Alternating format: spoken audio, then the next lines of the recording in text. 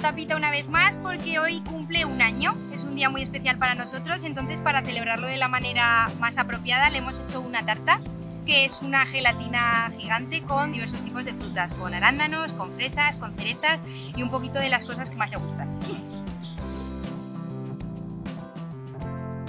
Con Tapita ahora mismo ya estamos evolucionando un poquito más en sus entrenamientos y es que ya hace completamente sola su ejercicio, entonces hemos ido avanzando un poquito más y lo que hemos hecho es que ahora tenemos que acostumbrarla a que eh, ella misma está acostumbrada a los ruidos de la gente y todos los movimientos en la exhibición. Entonces lo que hacemos es mientras ella hace su ejercicio, su entrenamiento, nosotros andamos por la grada, hacemos ruidos y simulamos un poquito como que la gente está, está por la exhibición pasando. Y poquito a poco ya estamos metiendo también grupos de gente para que ella se acostumbre a hacer su ejercicio y todo lo más parecido a lo que sería la exhibición.